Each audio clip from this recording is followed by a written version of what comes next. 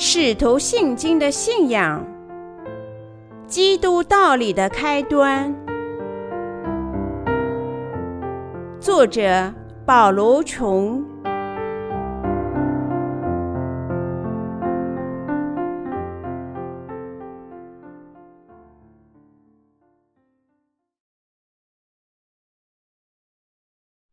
第一步，表白对父神的信仰。我信神，全能的父，天地的造物主，父神。有三种表白体现在使徒的信仰里。第一，他们表白信仰万能的父神，天和地的造物主，创世纪第一章第一节。第二，他们表白耶稣基督是神的儿子，已经赦免了他们的罪孽。第三。他们表白耶稣基督因圣灵而受任，我们还必须表白信仰父神、儿子和圣灵，因为我们必须和使徒们拥有同样的信仰。对于我们来说，父是神，就像子和圣灵也是神一样。就父、子和圣灵的本质而言，他们同样都是神。因为我们对他们的信仰都是相同的，比如说，因为父是万能的神，子也是万能的神。换句话说，神圣三位一体的三个人实质上都是同一位神。我们因此相信父、子和圣灵三者从根本上讲完全为一。因此。为了使我们建立信仰神的道的基础，我们必须停泊在真理的道理。圣书里的政治，旧约，第一，首先，旧约明确的告诉我们神唯一。你要听，耶和华我们神是独一的主。生命记第六章第四节。二。但同时，旧约还明白无误地告诉我们，神存在于几个人身上。神说：“我们要照着我们的形象，按着我们的样式造人。”创世纪第一章二十六节。我们下去，在那里变乱他们的口音，使他们的语言彼此不通。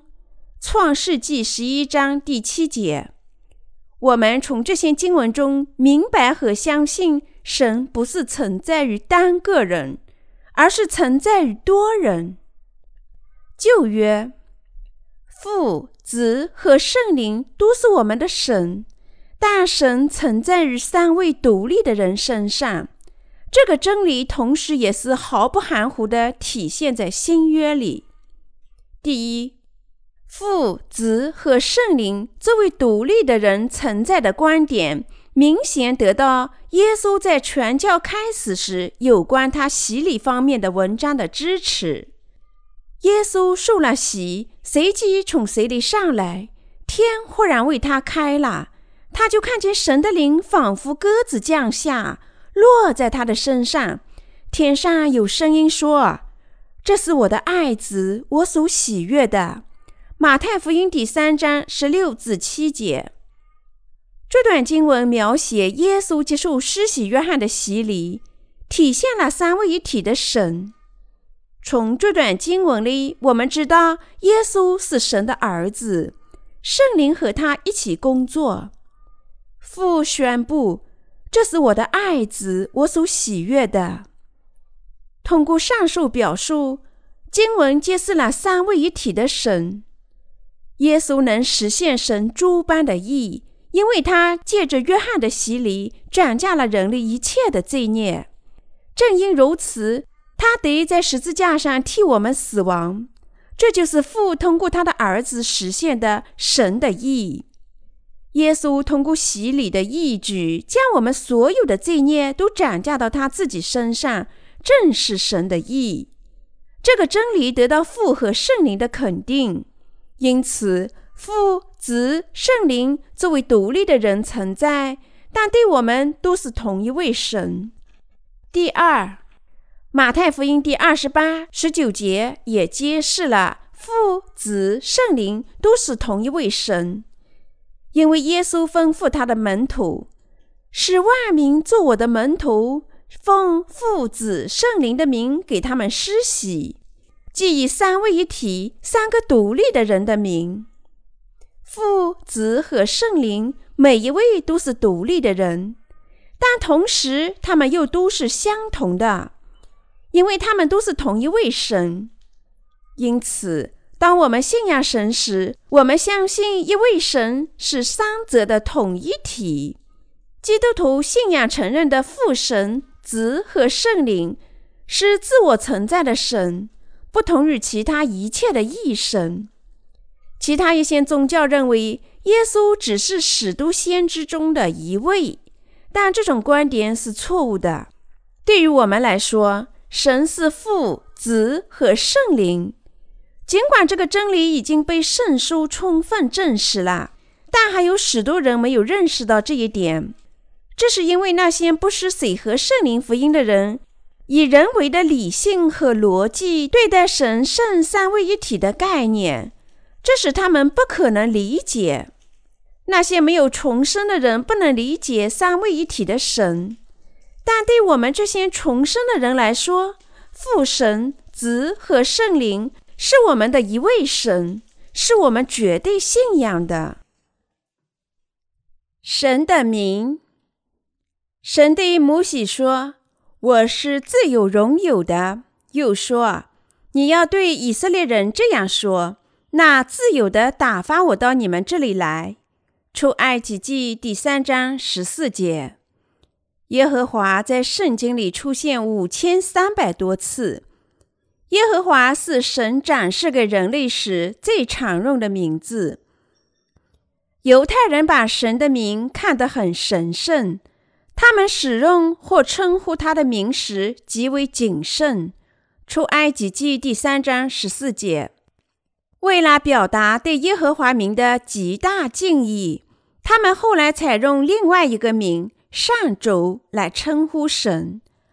该名的意思是“万主之主”，体现在下列方面：第一，存在之主；第二，生命之主；第三，曾经是、现在是，而且将来也是自我永存的主。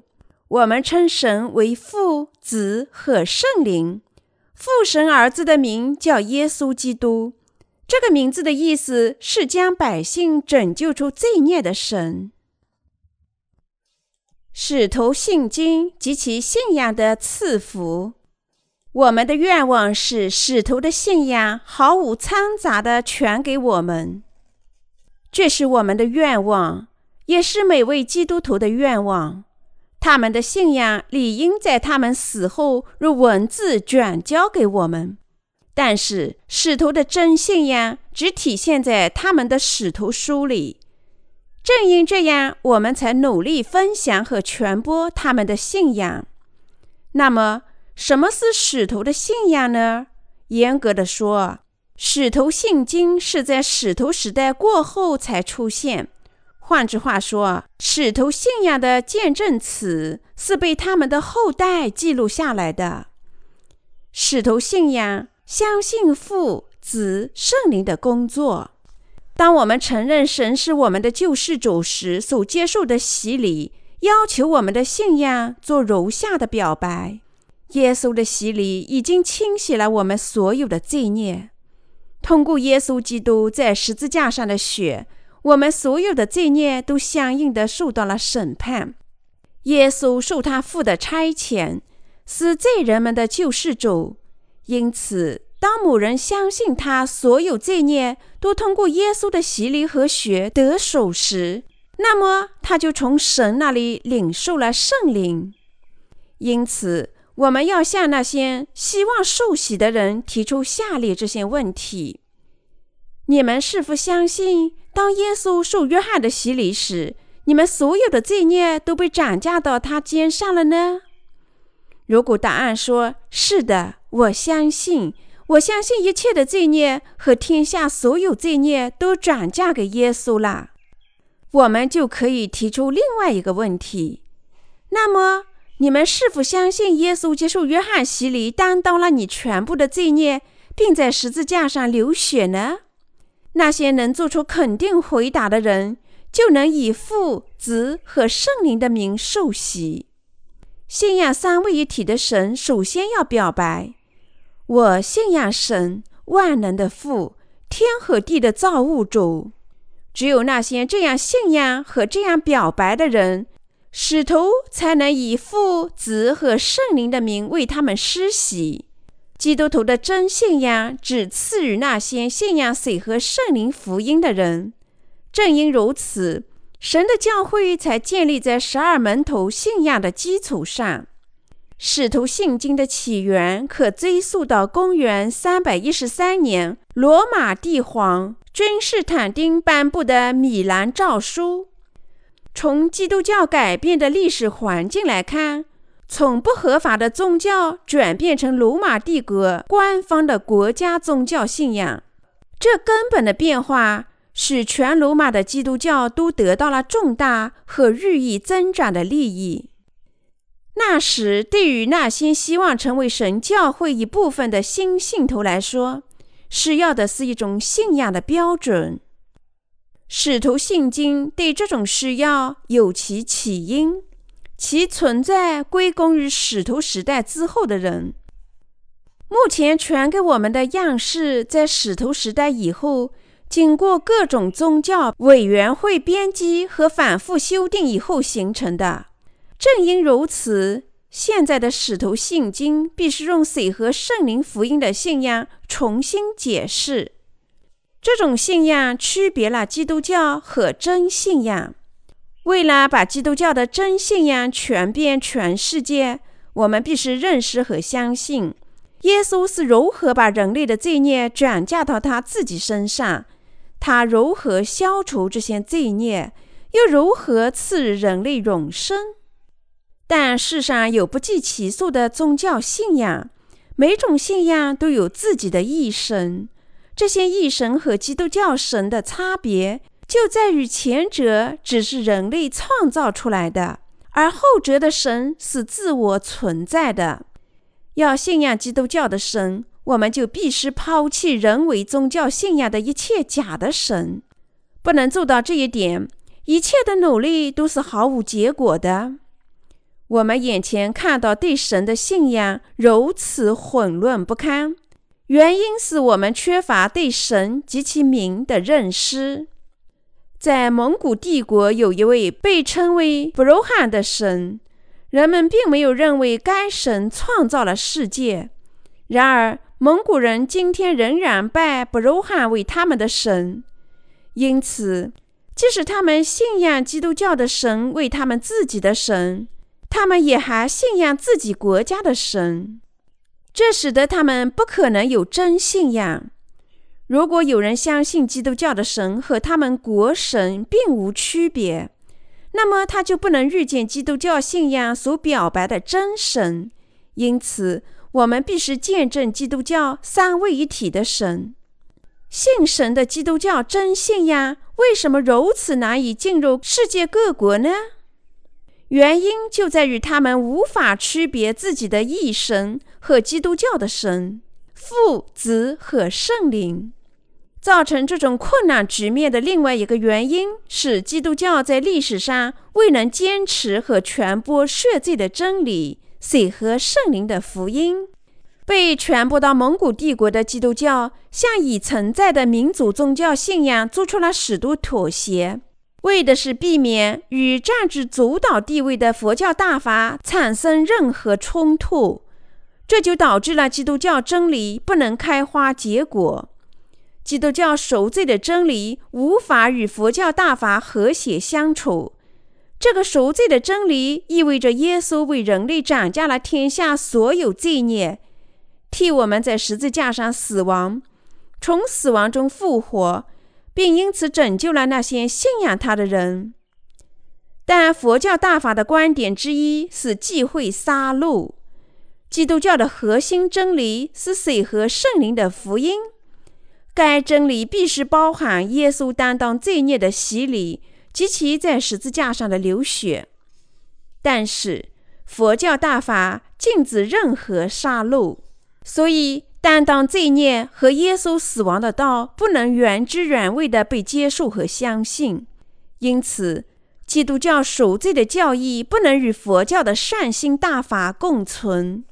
因此，在蒙古帝国里，基督教最终被佛教吸收，所以在蒙古再也找不到基督教了。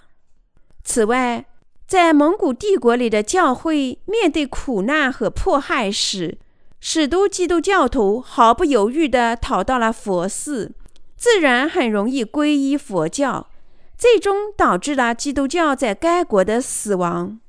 基督教从蒙古帝国消失的最大原因在于蒙古人对三位一体的神信仰不能肯定，他们把佛和耶稣都看作是同样的神，这是导致基督教最终从蒙古帝国消失的原因。只有那些信仰基督教的真神为他们自己的神，而从罪孽中得救的人，才能拥有永生，无论他们是谁。身在何处？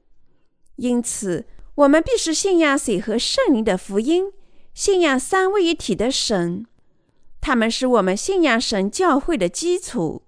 我们还必须见证这个真理，这个真理正是使徒的信仰，也是这本书讨论的话题。全世界只有一位神，他就是三位一体的神，他的名叫耶和华。或者叫救世主耶稣，或者圣灵，他是真神，不但是基督徒的真神，而且也是一切宗教人士的真神。谁是使徒？既然信经被称为使徒信经，我们是要首先查明这些使徒是谁。使徒这个词的意思是说被差遣的人。在希腊语中，这个词写成 apostolos，意思是受托传教的代表团。可是严格的说，使徒的称呼只有被耶稣称作十二门徒的人才有资格使用。但从广义上讲，也使用于其他杰出的基督教师傅，如巴拿巴。使徒行传十四章十四节。使徒们的资格和职责：第一，那些直接蒙基督召唤、传播水和圣灵福音的人。马可福音第三章十三节，路加福音第六章十三节，加拉太书第一章第一节。第二，那些和基督生活在一起，在地球上见证他工作的人。耶稣基督的门徒是见证人。他们目睹基督用生命实现了神的意。使徒行传第一章二十一至二十二节，哥林都前书第九章第一节。第三，那些被圣灵充满的人获得能力完成基督吩咐的工作。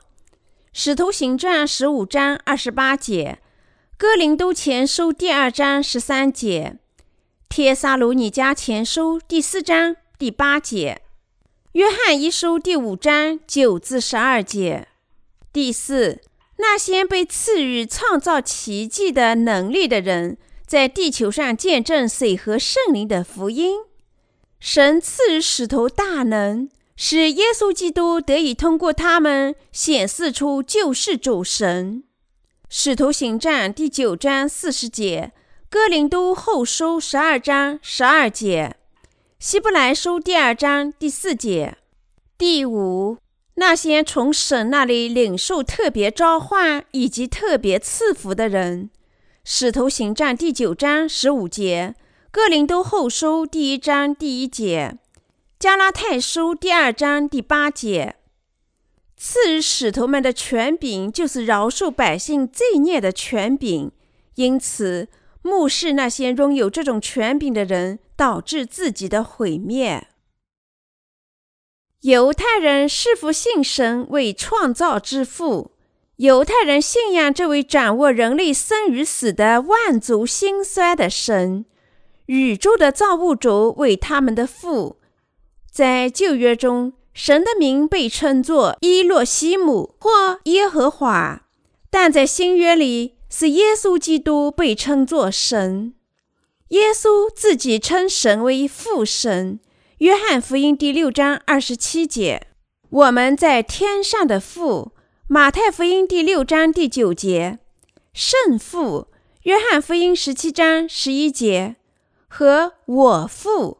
约翰福音二十章十七节，反复告诫门徒要在内心接受他的教导。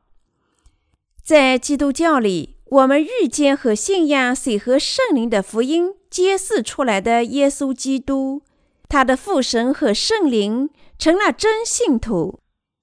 基督徒必须认识到，他们信仰的这位神真正是谁。基督徒信仰神为全人类的父。基督徒信仰三位一体的神是人类的造物主，也就是说，他们相信神既是生命的发源，又是生命中的养育者。神创造了人类，而且通过他的教会拯救和养育圣徒。因为基督教的神创造了整个宇宙，又按他自己的模样创造了人类，他是全人类的父。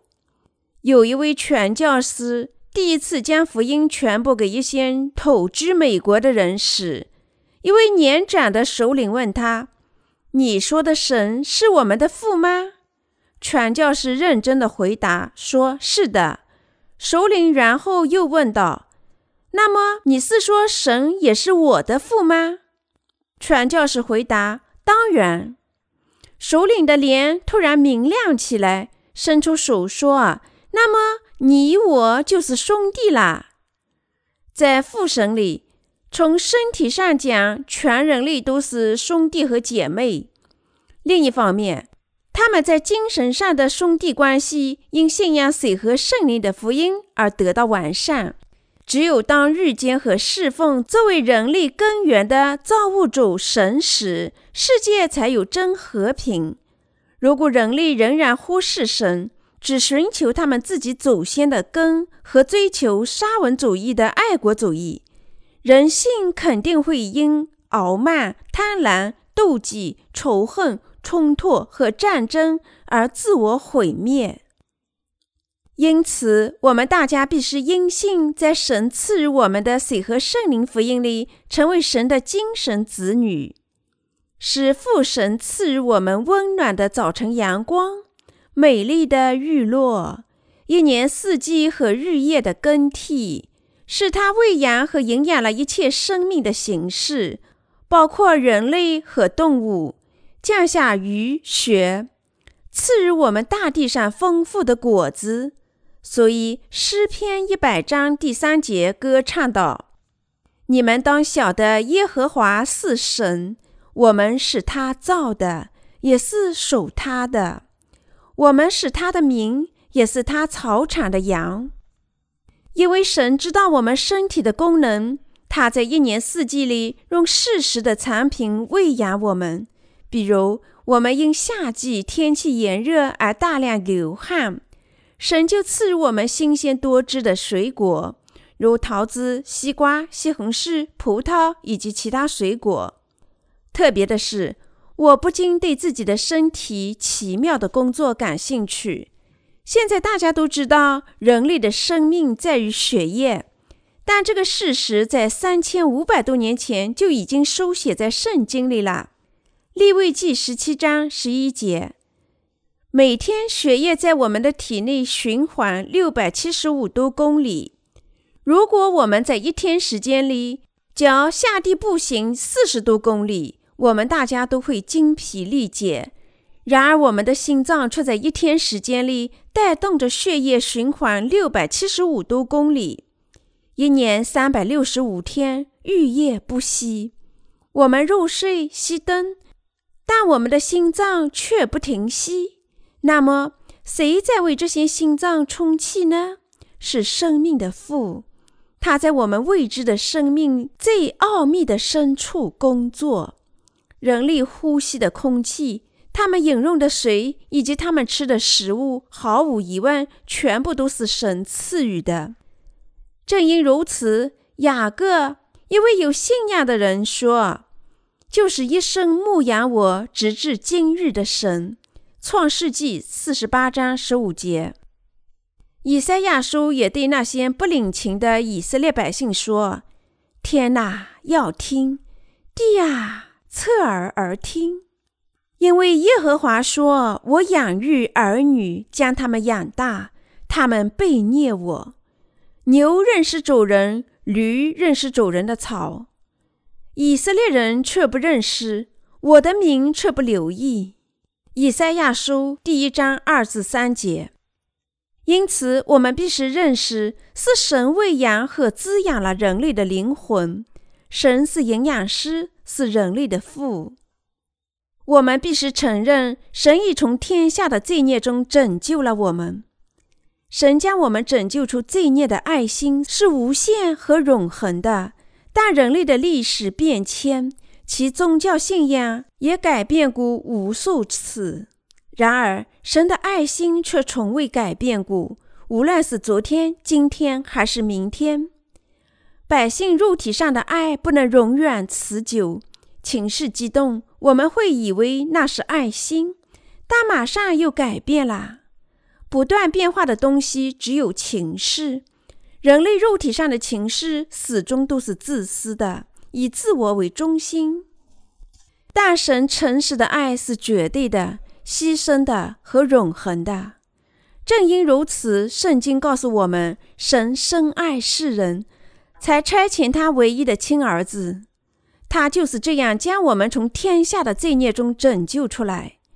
所以，罗马书第五章第八节说：“唯有基督在我们还做罪人的时候为我们死，神的爱就在此向我们显明了。”约翰福音第三章十六节说。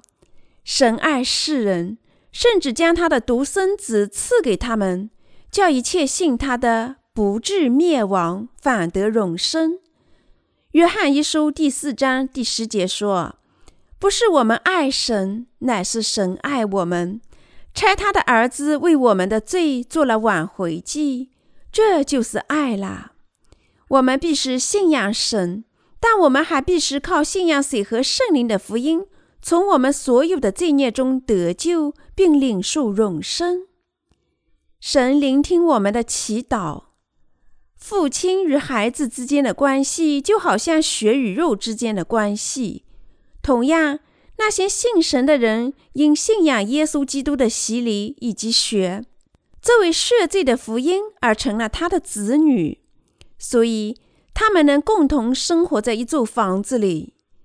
虽然我们同生活在这个地球上，只有神的教会才是圣徒的屋。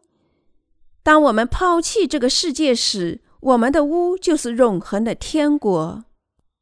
称神为我们自己的父和从我们所有罪孽中得救的赐福，只有在相信水和圣灵福音的信仰里才有可能。